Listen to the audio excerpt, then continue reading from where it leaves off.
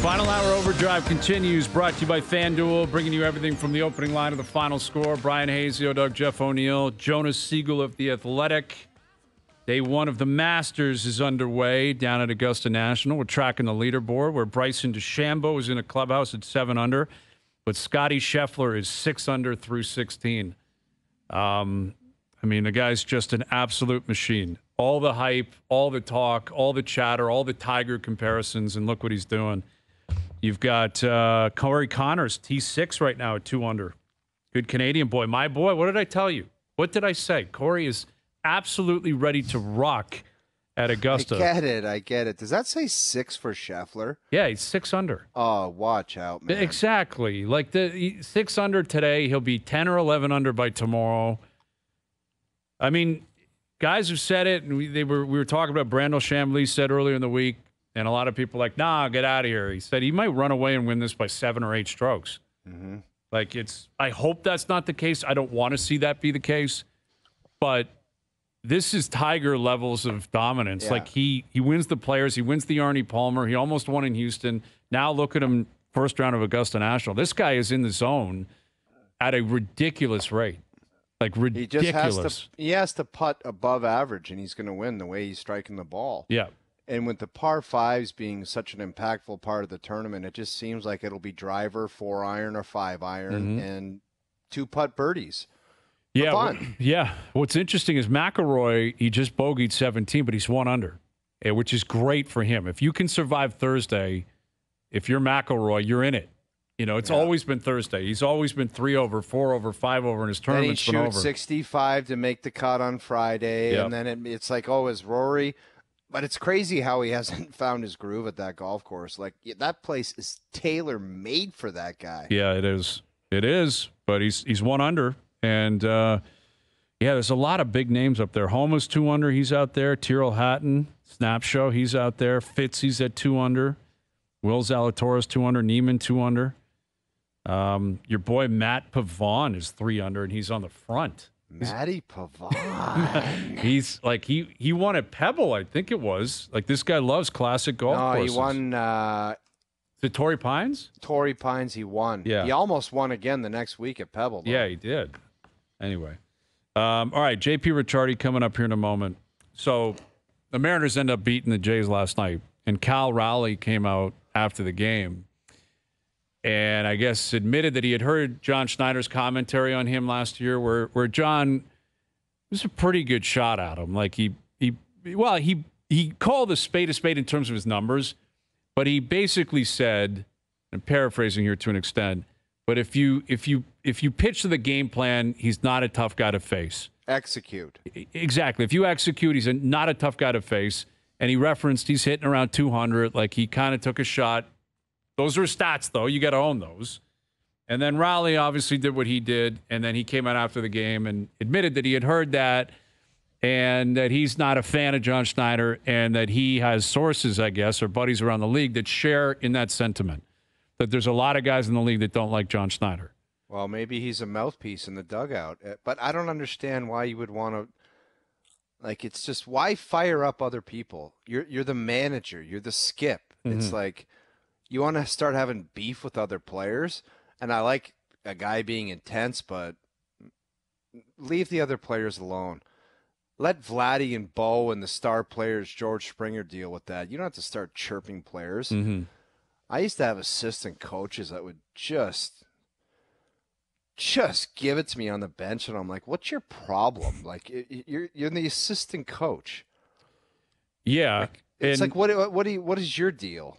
Right. And and here he's the manager. It's not an over it is an emotional sport, but nowhere near as emotional as hockey or football. So I don't know how motivating it really is. Like Cal Raleigh isn't going to hit 350 now the rest of his career because John Schneider. Does have pretty good numbers against the Jays. Right. And I guess that's why he was originally posed the question why is it an issue for you guys where it doesn't seem to be an issue for many other teams around baseball? I don't think it should matter necessarily if you're a Blue Jay fan that who cares if other players and teams don't like John Schneider. If anything, I think this will play pretty well in the market. That's great.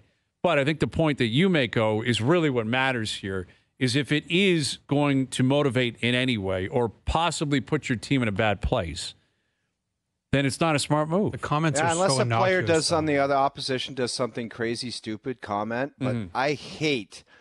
I love coaches saying that guy's not my player. I'm not commenting on him. Yeah. It's, not my guy. Unless there's something egregious where he sucker punches somebody or there's different things like that. But zero comment on opposition players. Right. Not needed. And Schneider's still relatively young. You know, Yeah. he, he it's is. like, it's are his you second kidding? full Who are year. you to be doing this stuff? Right, and and I think that's what Raleigh took issue with is that you you you referenced his stats and said that if you execute, it's an easy out. Isn't that like? Yeah. true of anyone? Yeah, but the, it's one thing to say we executed, so we got like in the moment. It's one thing to be like we we pitched him really well tonight, we got him, and we felt good about our game plan. It's another thing to be like basically insinuating that guy stinks, and we're going to get him. You know, like there there does seem to be some nuance there that leans towards why a player would take issue. Whether it's true or not, other players around the league hate on John Schneider. I'm not sure it matters, but should it matter to the Blue Jays? Would it matter to Ross Atkins? Would it matter to JP Ricciardi if he was the GM of the Blue Jays? Let's ask him here. He's got his podcast out, host of the Brushback with JP. Here's JP Ricciardi. How you doing, JP? Good. How you guys doing? Yeah, we're doing well. We're just talking about this Cal Raleigh stuff from last night where he was in town with the Mariners and he uh, referenced a comment that John Schneider made about him last year where John basically said, "We feel if we execute against him, we will we will strike him out. We will get him out. He's an easy out. He only hits 200, et cetera, et cetera, et cetera." Cal didn't like it. Cal suggested other players in the, around the league don't like John Schneider. Um, is this a story that should matter to the Blue Jays? I think if you make it a story in the clubhouse, it's a story. But you know, turn the page and move on. Uh, it's probably something he shouldn't have said. And you know, players are always looking for something to fire him up. And uh, obviously, the guys played well against Toronto, so uh, maybe not the comment you want to say about a player who's doing well against you, but uh, it's done. It's over. You just move on. You know. Right, but in terms of Schneider and his reputation, you know, if he's known as a guy that's you know popping off, a little bit fiery, um, I kind of like that. But how do you feel about it? And what what kind of attributes, characteristics do you think are ideal for a manager in the modern game? Well, I think John's a young manager, and you know, when you're a young manager, you're cutting your teeth and you're open to interpretation of what people think about you. But you know, once you have some success, look, I remember watching Terry Francona manage the Phillies, and I was scouting the the big leagues at the time, and the Phillies weren't a very good team, and, and Terry was not a very good manager at the time because he was cutting his teeth at the major league level. So he went on to become a great manager and a future Hall of Fame manager. But if you pass judgment on Terry Francona as a young manager compared to what he ended up being, it would be two different stories. So I think, you know, until John gets to that point where he's solidified and has had some some success and some results, uh, I think his reputation is being formed in, in different aspects from different angles, and it's just part of being a young manager. What do you think of some of the decision making from the manager, Davis? Schne- People come up to me all the time. They're like, "Oh, Davis Schneider, he's hot. He's just going to get sat out the next game." What do you think of that, JP? Some of those lineup decisions where a guy's hot, but they have different matchups and analytics where they go to and say it's best for you not to play today. Well, I think that's a question you have to ask the, the front office. Uh, you know, some of these managers are beholden to what they're told from above, and they're really in no position to push back. You know, unless you're a Brian Snitker or a, a Bruce Bochy, you know, a guy with a lot of experience and has had some success. I think all the younger managers have to deal with lineups being dictated to them to a certain degree, and I think you know maybe John can't even answer those questions sometimes because you know he's not going to sell out the people above him that are telling him to to make the lineup out. But I, you know, I, I have a hard time when you're struggling understanding how you don't have a guy in there who's might be one of the only hot guys in the in the lineup. So I, I don't think that's John's decision all the way. That would be my guess. Yeah, I, think most people would concede that and kind of understand that that's where that's where the modern game is in in large part uh, with J.P. Ricciardi. Interesting story coming out in, in terms of you know Scott Boras and his stranglehold on this sport, where there are reports now that Jordan Montgomery, who was his client, is about to drop him as an agent, and Montgomery was was one of the famous Boras four this offseason that included Chapman, Matt Chapman, Cody Bellinger, Blake Snell. All four of them waited a long time to get a deal. None of them got long term deals, really. I mean, I guess Bellinger maybe likes his deal. But, um, and again, this is Montgomery, who's coming off a great season, had to wait a long time, took a deal in Arizona, clearly, maybe didn't love, and he's going to drop Boras. Boras has been the prominent agent in baseball and pro sports for years, for decades. Do you think he's is he losing his grip? What, what do you make of this Montgomery story, the offseason, and where Boras comes into play on all this? I don't know if he's losing his grip. I think what's happening is front offices just don't adhere to, you know, giving in to long-term contracts, big long-term contracts anymore. Uh, you know, you see a few of them. Obviously, Ohtani's the exception, but I think some of the the players that you're talking about, teams didn't want to go the the years that maybe he he thought were that deserving of the players. So I think what he's going to run into now is front offices that push back a little bit and don't cave in to being that one team that gives them the the five or six or seven year deal. So, you know, therein lies probably a challenge for him and his players. Uh, I think if you asked all those players separately, I don't think any of them were happy waiting until the season started to get signed. That just throws off your clock. And it's going to be interesting to see how those guys perform early in the season, not having that spring training underneath them. You know, I don't care how good you are; it's hard to miss spring training. So, I don't know. It's a it's a new landscape, and it's going to be interesting to see how it plays out. Well, so JP, JP sorry, oh, Jeff. sorry. Go ahead, Jonas. Well, I was just going to say, so you actually think that there is like a shifting landscape because like one of the guys who's come up here is like Brandon Belt, pretty good hitter last year, unsigned. Like, do you think something has really changed with front offices? Oh, yeah, you don't think it has? I don't know. It's so bizarre. Look, look at look at the way look at the way the game's being run. You, you've got guys that can't go more than three innings. You've got a game that used to used to say a pitcher that could command the ball, we can get him to do more things. Now we've got guys throwing 95, 97 who can't command the ball, and all they're doing is getting hurt. We have lineups dictated by front offices. We have drafts dictated by front offices. Where do you want to, you know, where do you want me to stop?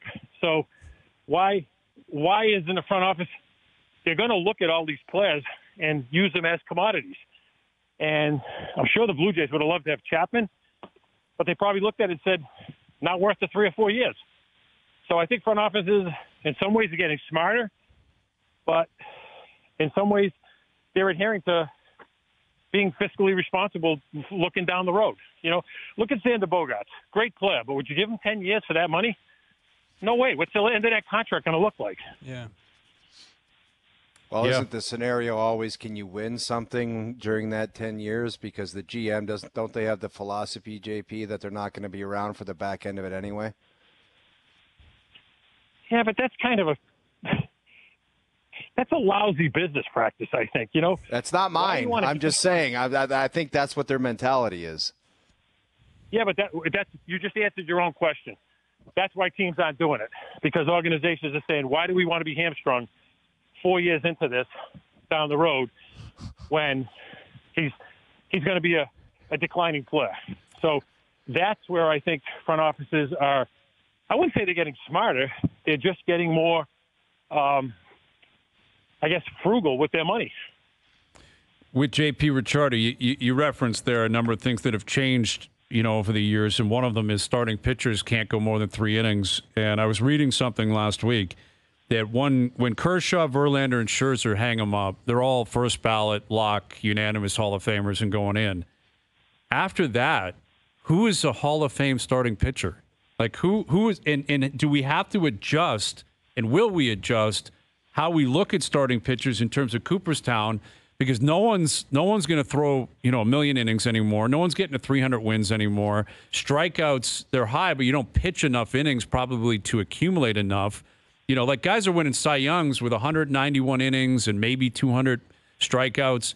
Like how how far is it going in that direction where we are going to have to adjust even the merits of becoming a, a Hall of Fame starting pitcher?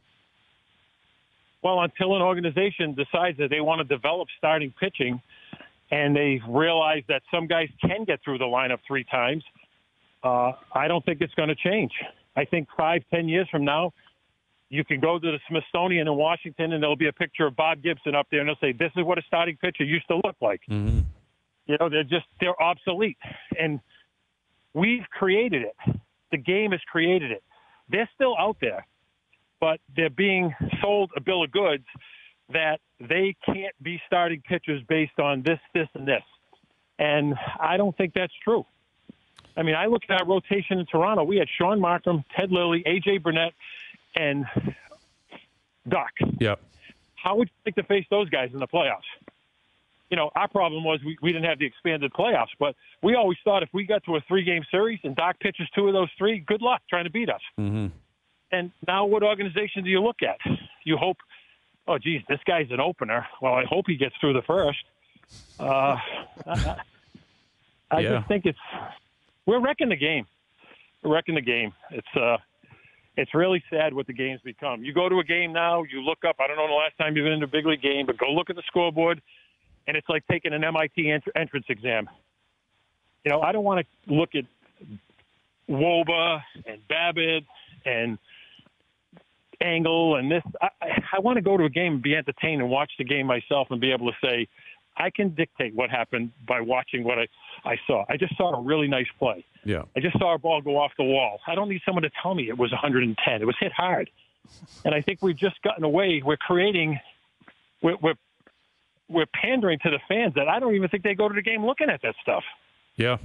I, I hear you, man. I'm, I, you're preaching to the choir here uh, because you're right. Well, I Baseball. think we've lost we've we've lost our entertainment, uh, our viewpoint on entertainment. You know, and, and I don't know how old you guys are or whatever, but you know, I remember going and seeing uh, Jim Lonborg's pitching. He was the 1967 Cy Young Award winner. Pedro Martinez is pitching. Uh, Roger Clemens is pitching. You know, who does the kid sit there and say, "Hey, Dad, let's go to the game today"? Uh, the is pitching. Mm-hmm. yeah, no, exactly. You know, we- uh, it's. I think that that case is always was what was against Jack Morris, but Jack Morris was a guy when he was in town and he was pitching. You're like, I'm going to see Jack Morris, and that guy's going to pitch a lot of innings and throw with heat and have an attitude. But his ERA was what it was, or his you know underlying numbers, and he was mean to some people. So, you know, you're not getting in. Like that's kind of the way it worked. Um, Yeah, it's sad. It's it's sad because we're we're we're really taken away from our product. Where it still is a great game, but like you said, I mean, when Verlander and Scherzer and, and Degrom go away, who are the starters that you say, "Wow, Mm-hmm. this is." You know, you're a young kid and you're a pitcher, and you you want to emulate these guys. You want to watch how they warm up. You want to watch everything about them. So, yeah. no, I think we're really we're killing our game. Uh, the podcast is The Brushback with JP. He is JP Ricciardi. Appreciate it. As always, JP, we'll do it again soon.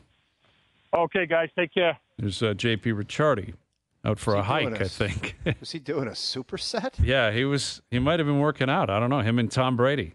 He sounds like he's team eye test. That you know what though? I think what he is is he's team entertainment, and, and what I think he's speaking on behalf of is he's looking at the fans, and I think he's hundred percent correct. If you're in management, you need to know everything. You need to be informed. You need to know every single possible analytic. Of course you do.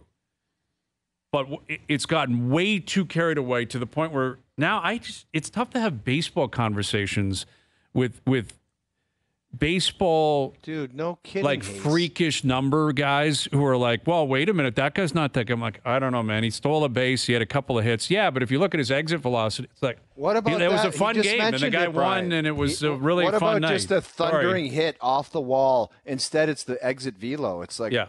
that doesn't need to be brought up there. Right. Well, look at like Vladdy hit that home run, and home runs are different because you can you can put a number on the distance, which is kind of cool, right? But what happens is these numbers have been manipulated the other way, where Vladdy will hit into a double play, and it will be, yeah, but did you see how hard he hit it? So he got unlucky. Okay, but it's a mm. double play. He hit it to the guy, and it's a double play. I'm sorry, I'm not going to let him off the hook when he just killed the rally, even though he hit it hard. I, Like I that, that to me is thing in- absurd. The same thing in hockey where you have a good quality team let's say a defense core in either tampa in their in their cup years or vegas where it's like good defensemen doing good things. Ah, they're eliminating shots from the high danger. No kidding, because they're good defensemen and they're doing their job. It's just low hanging fruit. You got a real talented offensive team. Their zone entries are fantastic. Thank you very much for that. Their zone entries. It's because yeah. they're good players and they're smart and they carry the puck and they have the puck. I feel Right. like you're talking to the wrong fruit. person with me. No, of course, and that's listen. you guys are everyone's- basically saying you don't want more information. Well, do you agree with with what this is what JP said? He said, and he was adamant there. He was getting emotional. He thinks they're ruining baseball because of the of the the, the guys, the people in charge that get to operate franchises have decided that they're going with openers and they're not letting starters go. I think what ruins baseball is like a situation we saw with the Jays last year, Mm-hmm. where their pitchers are rolling along and it's like, nope, we're taking them out. we have a plan, and we are over managing. We're over like we're playing marionette and like Every ah. team in the league does that though, and that that's the point. Is that it's a separate conversation when you're trying to maybe dumb it down or or speak to the masses and allow people to be included in the conversation.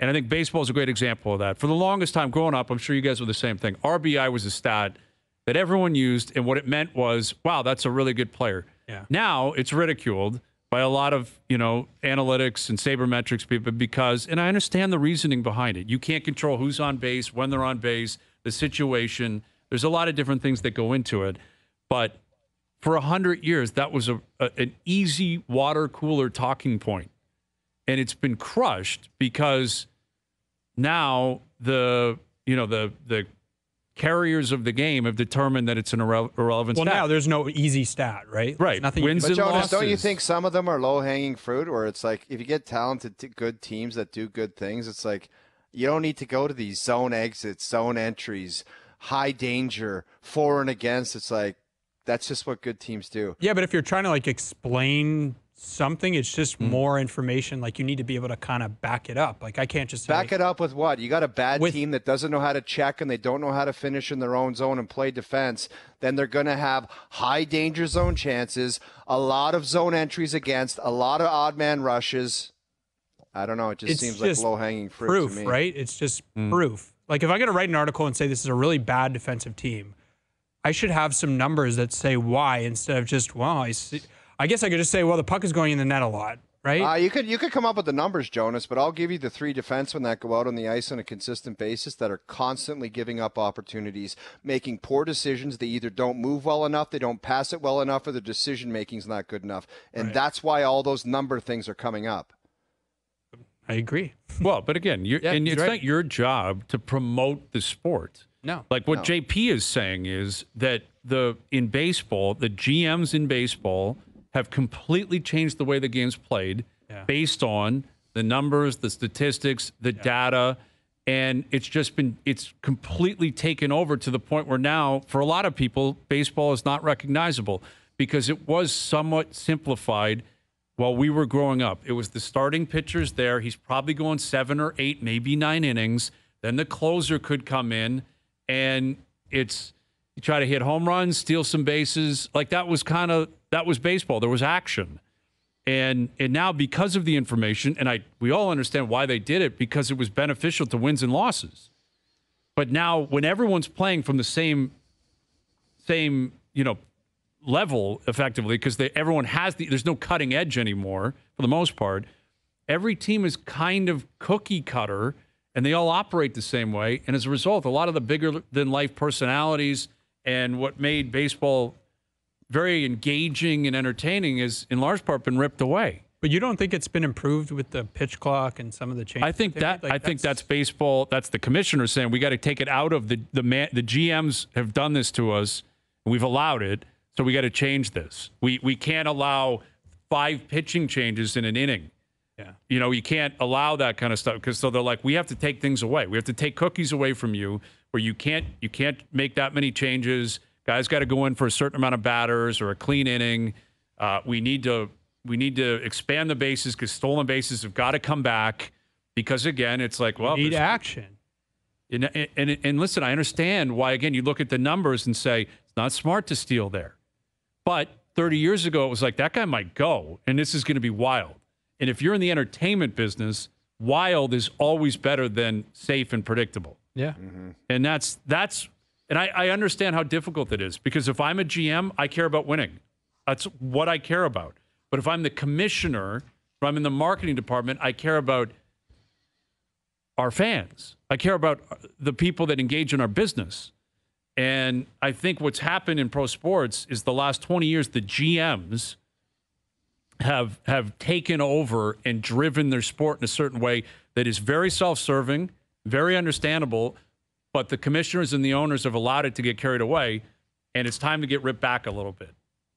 I think it should come back. What would that look like? Well, I mean, with baseball, I don't. You got to force teams to allow pitchers to go deep. I don't know how you do that anymore. You know, I don't. I don't know how you tell guys not to try to throw 97, 98 every single time they're on the mound. I mean, I don't know how you put that horse back into the barn. Why did that become so important? Because the evolution of the hitting, like wh- I think they've shown what's that wrong with every- Greg Maddux, the way he used to play. Oh, he's like the He's- outlier. Yeah, he. Well, But like I think they say like statistically, Jeff, like every mile per hour up you go, the batting average goes down and down and down and down. So the incentive for the pitcher is like if I throw 98, I'm gonna get paid. Like Right, because of that's course. more valuable to well, teams. he's not the outlier, Jonas. That Zito guy from not too That's a long good ago. yeah, The Zito. lefty. Yeah. Well, Kershaw's an Barry example. Zito. Kershaw It's doesn't Barry throw heat. Zito, right? It's Barry Zito. Barry yeah. Zito, yeah. Barry Zito used to just throw hanging curves, and he Yeah. he was dialed in. Yeah. It's like not everyone was chucking heat. No, it's a good point. No, and and the, but again, because of the opener, the, the what what the way teams are now set up is give me a guy who can throw heat for three or four innings, and then I'll bring in a guy who can throw heat for an inning, and then another guy who can throw heat, and it's just heat, heat, heat, heat, heat. And if they get it, they get it, and if they get it, it's probably going out of the park. and it just it's home runs and strikeouts, and Well, and the worst example, remember Blake Snell in the World Series? Or I think he had a he had maybe a no hitter. I Yeah, can't he remember. was it was a close perfect to it, game. you're right. And they, I think they, They took him pulled out him. after like five innings, they six did. innings. I think it was less than that, Jonas. JP's bang on on one thing. I was in New York City walking around with some buddies, and word got out that Rocket Clemens was going to be on the mound, and he was going for some. Yeah. It was either strikeouts or wins or something, and we were like, "Clemens on the mound at Yankee Stadium, gotta go." Yeah. There's not a lot of that going on anymore. Well, you gonna Yeah. go watch a guy first inning, dude? No thanks. Well, that's it. The marketing of the starting pitcher was always the main squeeze for any event. Yes. Now it's not even like what the pitching duel is. It's Yeah, relevant, You're but it's not. underselling it. There's still guys like they're Yeah, all there are getting hurt. guys. They're getting hurt now, but Yeah, no, they're. You'd be uh, lucky to come up with a 10 pack of guys that would get you to New York City to go watch them start a game. I'll tell you that. and think you're getting seven, eight, nine innings. that's a good point. I mean, 10, pla 10 pitchers that people actually know. Well, and, and furthermore, again, ten guys you think they, they have a real chance of going seven innings, seven strong. Let me see if I can come up with them. I'll right. tell you the one dude, another one who was the top of the list was I caught him in New York was DeGrom. I watched that Yes. guy pitch live. yeah. That was disgusting, man. But he hasn't been healthy in years. no kidding. Who knows what he ever does again? Yeah. Got a World Series ring though. Yeah, as a Ranger. I didn't see that one coming. Um, all right, Bruce Boudreau in studio. Leafs Devils tonight. His take on Matthews chasing 70, what he makes of a number of things around the league. We'll catch up with Bruce. He'll join us next. All right, Best Bets brought to you by FanDuel later in the hour. Bryan Hazio, Dog, Jeff O'Neill, Jonas Siegel in here, and here's Bruce Boudreau. Bruce, have you recovered from WrestleMania? Hey, you know what? I watched all eight hours of the stupid thing. It was Was it pretty good? good. Yeah, I enjoyed it. Okay. Did the what was your favorite part, Brucey? What was my favorite part? Like, you know what? I'm a Kevin Owens fan. Yep. So I was really mad when he when he lost. I wanted to get in there, even though I know it's scripted. All I. I know all that We stuff. understand I that. thought The Rock on uh, the first night was really good. Um, and yeah, you know, Okay. it's just entertaining. Like, I mean, it keeps me from talking to the wife for four hours and. Go watch some wrestling. go and do to my thing. little my little man cave and I just sit there and don't right. bother me. Yeah. I like it because it's been a two day event now for a few years, I guess. Right? Like, is it?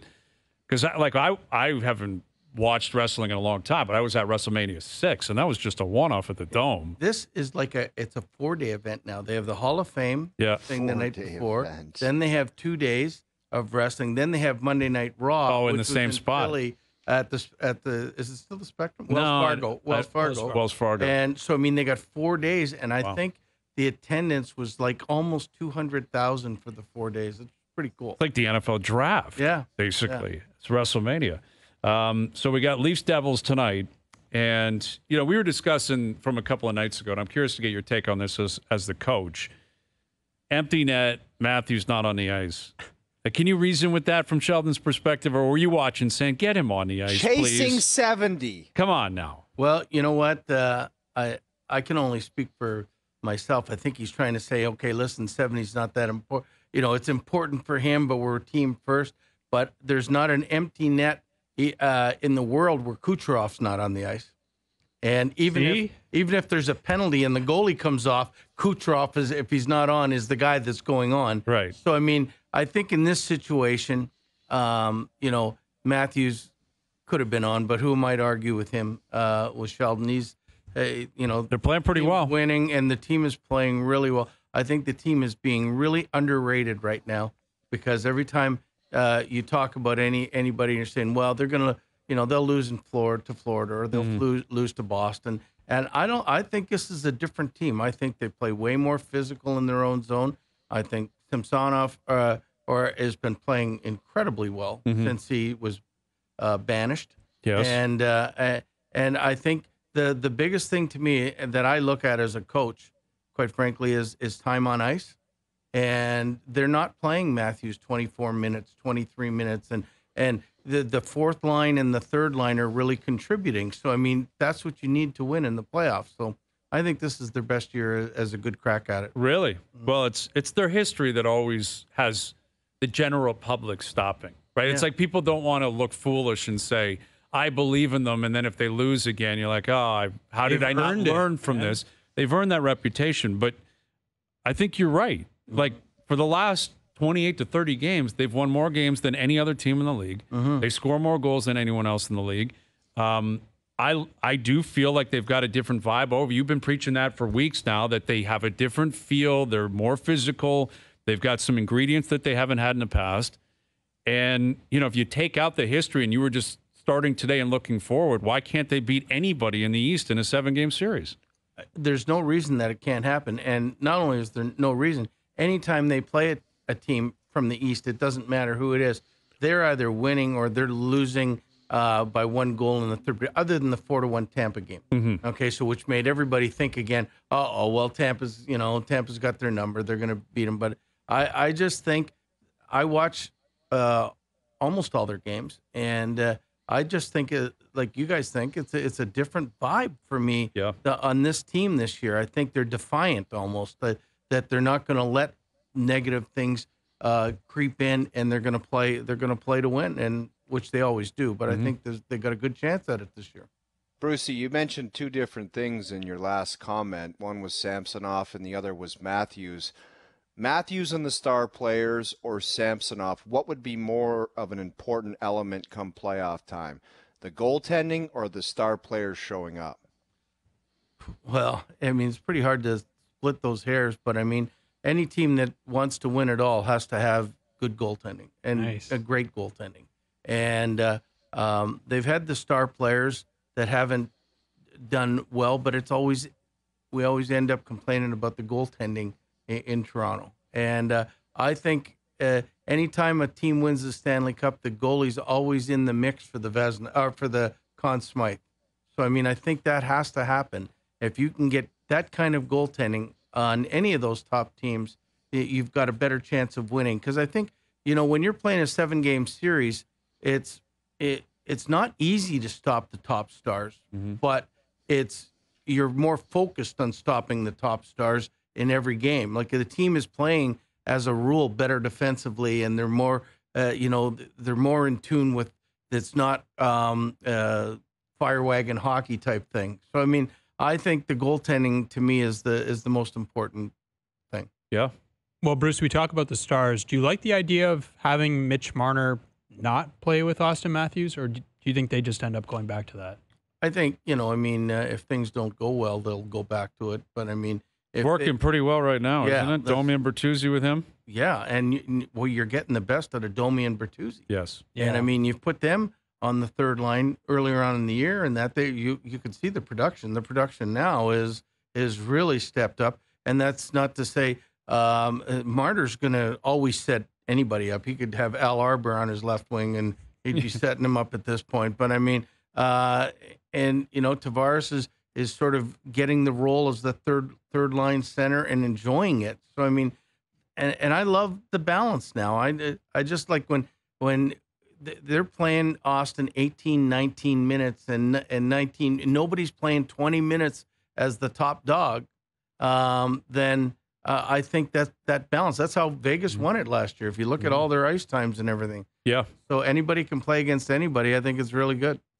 with Bruce Boudreau. Um, obviously, Keefe's aware of what Matthews is chasing. I'm sure he's aware of what Nylander's chasing. He's still, I think, four points off Yeah, 100. 96. Um, Kucherov chasing 100 assists. McDavid, if he plays, chasing 100 assists. As a coach, like, are you aware of a lot of the statistical things that are ongoing? Like a guy chasing a career number, like 70, you can't miss. But if some guy's chasing 25 for a career high, would you be aware of that? I'm I when it came to statistics I, like that, I'm aware of all of them. Okay. and uh, uh, I know what goals are. Like even years ago, I mean, when they were allowed to have bonuses, I Mhm. would be asking, "Do you have bonus for this or that?" And because you want to get the players uh, the bonuses if Sure. you can. But I remember like um, when I was last in Vancouver, uh, the last year that I finished there, uh, Miller had 98 points going into l- the last game, and uh, um, he got a point in the first period, and uh, we did everything that we could to to get him to score uh, one more point. He he ended up playing 25-55 in the game, and uh, and he didn't get it. But uh, uh, you're so aware of it, and you're aware of how much it means to these guys, even if they don't want to say it out loud. So I mean, and you know, you if you do it for them, they'll probably go to bat for you for one one time or another too. So it's a it's a good uh, quid pro quo, I think. Brucey, where are you at with the coach of the year? What would your what would your vote be? Here, you know where my vote would be um, would be if Edmonton ends up in first place. Oh, Uh, it would be it would be Knoblauch. Knoblauch. Really? I mean, uh, well, that's how I won it because I took over and then we ended up winning the division. And like what he did was, you know, I mean, his Incredible. record, he's incredible. I mean, the team was in second last place and all of a sudden they go on a run and they're playing lights out. Watching that game the other night when they played Vegas, where I'm a huge Vegas uh, staunch supporter, I'm saying they they just sort of dismantled them. It wasn't even wasn't even a close game, and and if they can play like that with the balance that they're showing, I mean, uh, I would give it to Knoblauch. I mean, I, I think Tocchet's in the running. Mhm. Um, uh, I think um, uh, Andrew Brunette's in the running. Yes, absolutely. You know, I mean, uh, I think uh, if this was a month and a half ago, I would have said Torts would have been, in- been in the running, but. I don't think so anymore. No. So I mean, uh, th- there's a lot of coaches that do a lot of uh, great, uh, a, a lot of jobs that that people don't don't realize Mm-hmm. how good a job they've done. But uh, the voters, to me, usually go with the team that they don't expect to win, Yeah. and they win, and then they take it like that. Like Jim Montgomery, I think, has done an incredible job this year. I think he's doing better this year than he did last year. Yeah, I mean they've got less players. Look how many players they lost through free agency. Yeah. and to keep uh, to stay in first place in that uh, Atlantic Division is is pretty tough job to do. Oh, you know, on a repeat because you got the you're sending the same message Right. to all the players. So sometimes it goes in one ear and out the other after a while. But he's kept that on point. So I think he's done a great job. I agree. Like you consider the Leafs, Florida, Tampa in the same division, they're going to win that two years in a Mm-hmm. row. Lose your top two centers. Exactly. You know. Brucey, You you mentioned Torts. Uh-oh. Their goaltending is horrendous. It's like wor- you can't deny it. You It's can't worse deny than it. it's worse than horrendous. Yeah, it's as bad as it gets in the league right now. Is there is that the only thing? I mean, you, I just mentioned it. You can't win without goaltending. But do you think the scratching of Couturier, and I know you don't want to trash talk one of your colleagues and another head coach, but do you think the comments, the Couturier, what do you think? There's any kind of ripple effect there? Well, I mean, it, to me, a- and I'll give you my honest opinion, uh, and I like Torts. I think he's done an amazing job and the potential Hall of Fame coach with the Stanley Cup and two Jack Adams and everything else. But I mean, to strat uh, to scratch Couturier, okay, that's fine. You bring him in. He's you just named him captain. He said, "I'm going to do this. We got to jolt the team." We, they had been losing, and they ended up winning that game. but then to scratch him the next game, then you lose him. I think. Mm-hmm. I mean, to scratch one game, the guy will say, "Okay, I don't like this, but I'll do it for the team. I'll say all the right stuff and everything else." Then you scratch them the next game. Then uh, you lose uh, a couple in a row. and Then you throw it on the goaltending.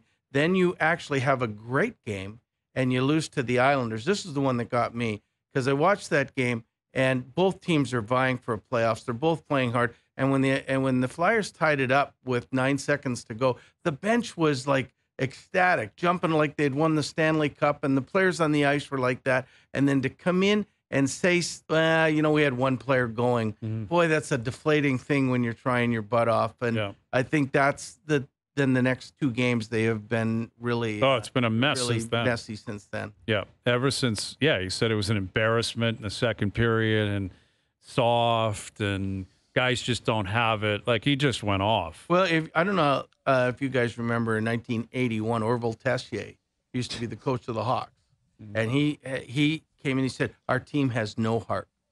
And as soon as he said that, a week later, and if you knew the Blackhawks at that time, they did. They were a really good team.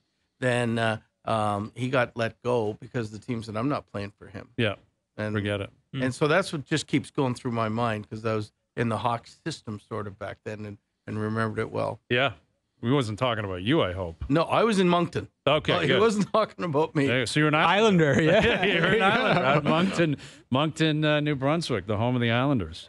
Bruce, I was curious if Pittsburgh does manage to get in, would they scare you at all? Like if you're New York, do they scare you just with how they've been playing? I think any team that gets in uh, scares me. Like, I mean, the half the team gets it, half the league gets in, half the team doesn't get in. I mean, um, uh, New York, it would if I was New York, yeah, they lost the year before in the first round when they should have won against Jersey. Pittsburgh has got the name guys, you know, like that are finally the last nine games have started to play.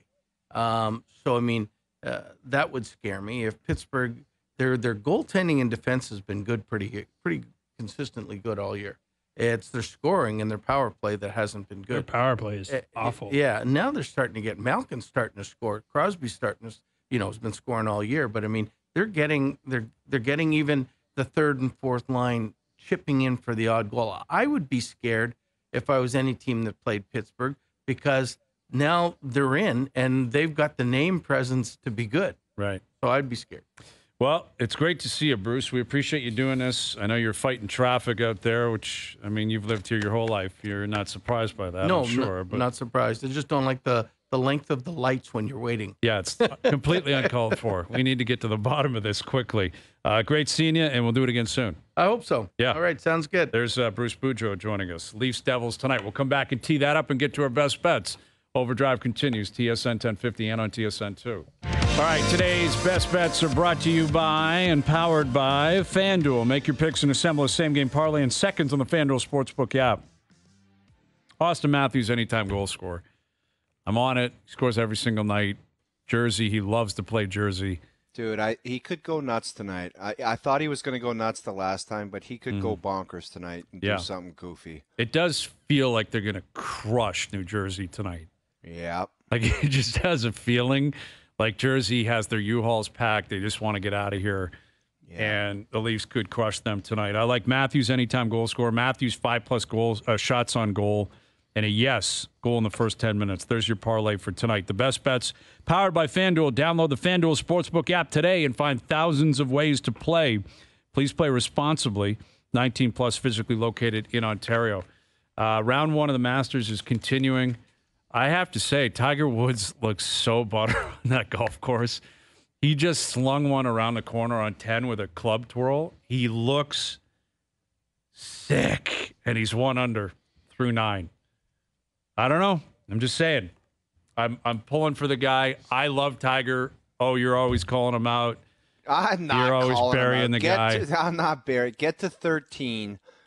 Get to 13 at one under, and then make a birdie, Yeah. birdie 15, and get it home at three under. Well- That- then we're maybe talking. Do you think if he could pick us, let, let's say he has to stop, he's not going to finish the, the back nine. Do you think he wants to get through 12 and start tomorrow on 13? Would you want to Yes. start there? Sure, because you can just hammer a driver around the Yeah. corner, and it's a great way to start around. You do not want to start 12. That's a disaster. the first shot of the day. Oh, he just hates that shot. Yeah, Yeah, it's, just- that's gusty on 12. You don't want to start there. No. He just pushed one into the right side bunker. He's short sighted. He's probably going to give up a stroke here. Just pumped his tires, Jonas. Jinxed it. Yeah, jinxed it. Anyway, Tigers out there. Corey Conners 200 today. Our boy. Your boy. guy, you just keep My pumping boy. that one. I'm going to see him tomorrow. I'll oh be yeah, what about your boy Decky? What did he do today? Decky didn't have fun. Decky was not good. Like, there's no I know way what you did it. too. You were watching the Golf Channel, and Chamblee said Decky is on fire right Yeah. now, and it got your ears up, and you were like, "Oh, Decky." I loved I love this game I know coming you in. love him. He's four over. I love Decky, but anywho, all right. I'm off to uh, Augusta National. Enjoy. Yes, I'll have a if you full see Gary report on Player there, tell him to cut the crap with that that leg kick. I, the karate again. kick. Uh, it's got to stop, but it won't. Stop it. His Thousand son was stealing push-ups. golf balls a couple years ago. Yeah, He's doing the leg kick. You're not allowed back. I'll find him. I'll have a word with him. Okay. Stop and chat with him and Greg Norman. Full report on Monday. All right. Thanks to everyone behind the scenes. We uh, appreciate you helping out. Jonas, good seeing you. Thanks, boys. Jonas Siegel of The Athletic. Thanks to uh, everyone for tuning in. TV, radio, podcast, web. We appreciate that. We're out of here. Enjoy your evenings. Enjoy the games tonight. We're back tomorrow at Pack your golf shoes and your rangefinder. 4 p.m. bringing a golf glove, too. We'll chat then.